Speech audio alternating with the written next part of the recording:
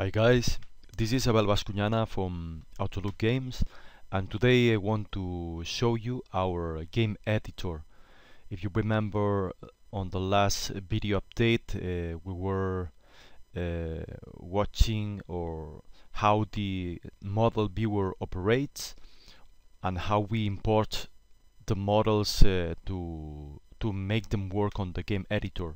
So right now uh, we'll see the imported models on our game editor and you'll see how uh, we make the layouts, the maps and and you'll be able to see which uh, tools we use to to make the game actually. So this is pretty cool because uh, it will give you like a sneak peek of uh, the technology our proprietary technology that we already have into place to develop the game so I think this is pretty important because uh, it's not only like theory, it's not something that uh, we still have to develop, and we have been working on this like uh, for the last uh, 10th months.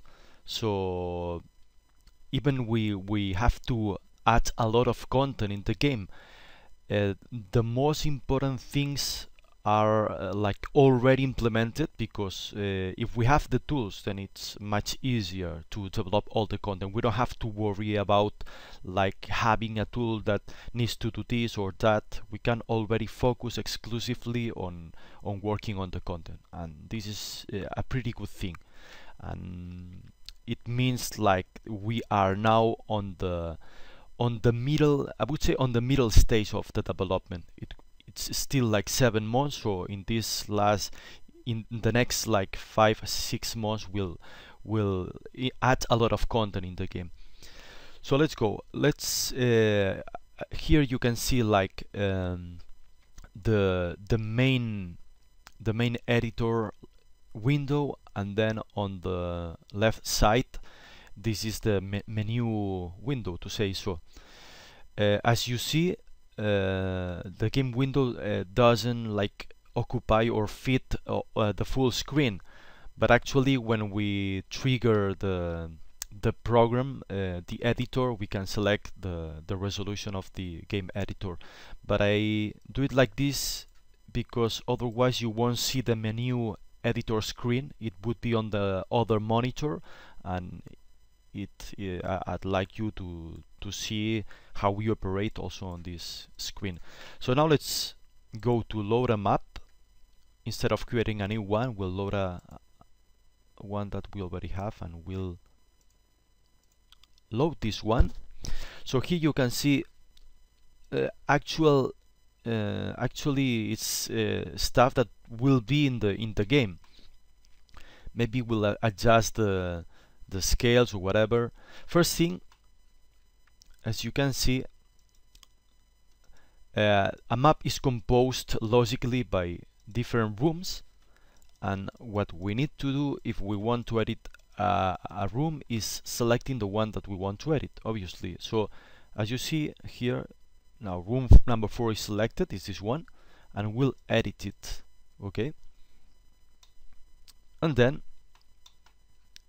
you can see that we can now select the individual elements of this room.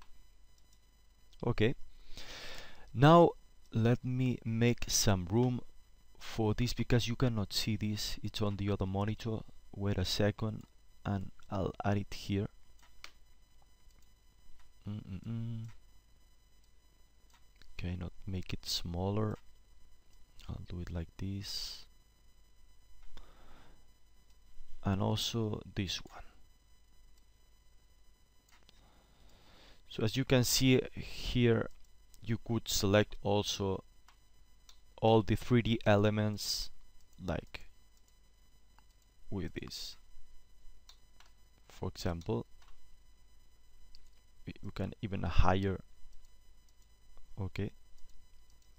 So let's for example uh, edit this model and you can see for at here at the left side you will see all the properties of this element and this is the scale for each of the three axes and also the rotation of the model.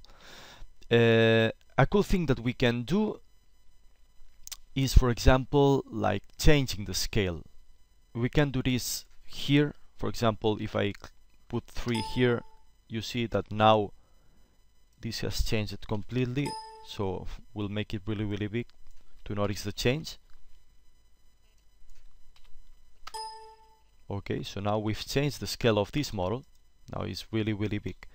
We can also do this like if we press the E key and then we do it like this. So so we have different ways of like changing the scale of the models. Also we can rotate the model if we press the R key and then also one of the axes. So this is a pretty good thing. And this is very necessary because when we uh, import models mm, they can be like loop-sided so we must put them on the right position. So how we put add a new model on the game editor? Then we should press the alt key and we would see a screen with like different models. The first thing that we must do is press F4 because if we press F4 you can see that all the models like will load. All the three models that we have already introduced using the model viewer as we saw in the last video. So now all the all the 3D models are being loaded. Yeah you see a tiger that has like uh, okay. As you can see here it's like pretty like crazy trying to find uh, some specific models. But for that we have a very useful list that is on the other monitor and then I will show you uh, so let me resize it a moment.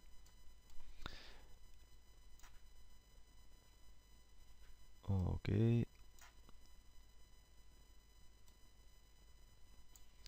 It's a pity because I cannot uh, let me throw it like this at the moment. Okay as you can see in the list we have architecture, environment, furniture, ambient actor, race, faction and item. In this case for example if I want to add an actor in the game editor I would select actor and then if I want a male for example and then as you can see the list has been re uh, greatly reduced. And now we only have the actor models we've already introduced as you recall we introduced the villager. We also have an elf that does is doing a kind of crazy animation.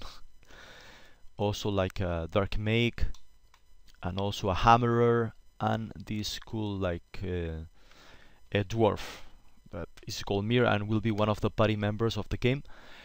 Uh, so now that we have selected Golmir, uh, we go in the game again and press the shift key and you can see Golmir model. We left click because I'm left-handed so uh, Jose Manuel adapted the game editor for left-handed people which is a, a cool thing and okay we already have the model and as we saw previously we can scale it we can scale him like using the different axes. But as it is a dwarf it should be like it should be like proportionate. So we'll try to adjust it using these numbers here and I think it will be much easier. I don't know we'll try with with this one for example at the moment okay now maybe uh, it's a bit small. Also a cool thing I wanted to show you is that for example this is an isometric view so I'm not really sure if this model is on the air. It's probably on the air so it's not like uh, on the ground. So so we can press F2 and we can see the model like well this is not pretty useful because we have the wall so we cannot see the dwarf but for example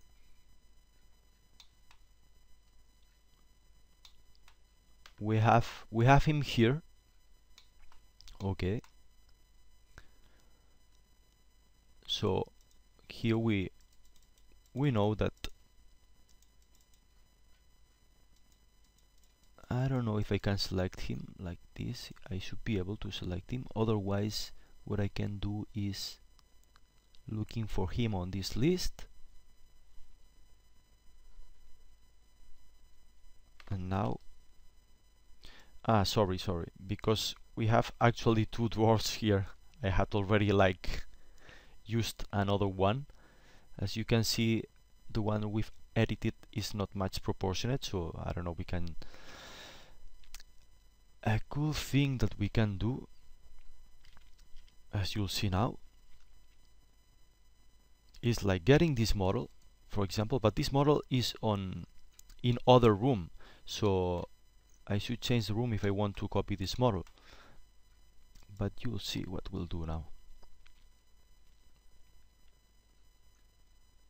Also we can have like even more screens. But at the moment we'll we'll get only one.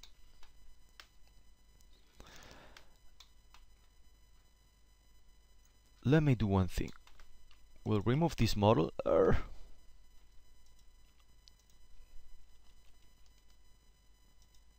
uh-huh.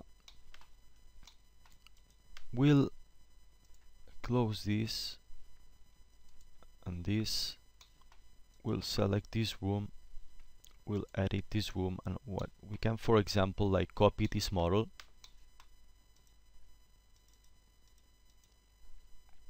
With Control C then we close this. We go and select this. And then we do Control V and we have the model with the same like size. Also we, we can do one thing and it's like saving uh, the scale of this model so we can use uh, the same model afterwards. So for that as you can see here if we click on new we've added this. Okay so now if we change the scale of this model for example let's put 3 okay uh, then if I select this again the model goes back to the to the scale that we have previously saved. So this is pretty helpful and useful for all these models. So you have seen here how like uh, we we work with uh, this is the basic stuff we use to make the the maps. So this is pretty cool because now we have uh, all the all the tools in place and now it's a matter of like focusing exclusively on adding content.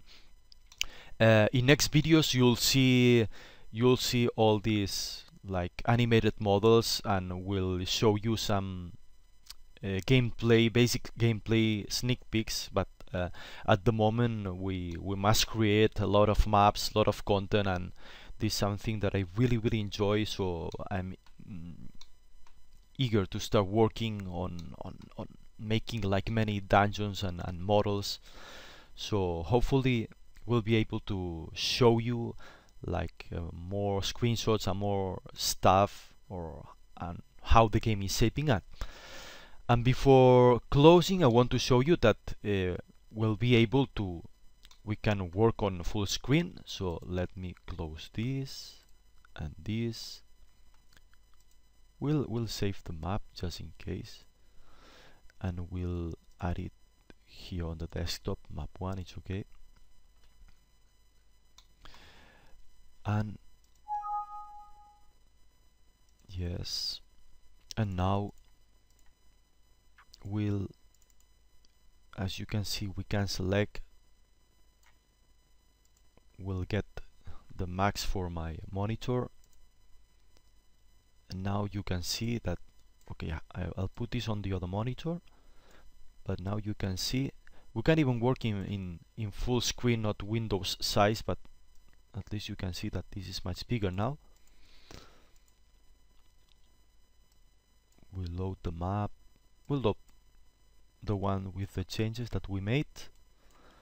This is map number one. Is this one open? Okay so here we have it. So this is pretty cool to to watch and work in full screen because you don't have like to be messing around with all the windows.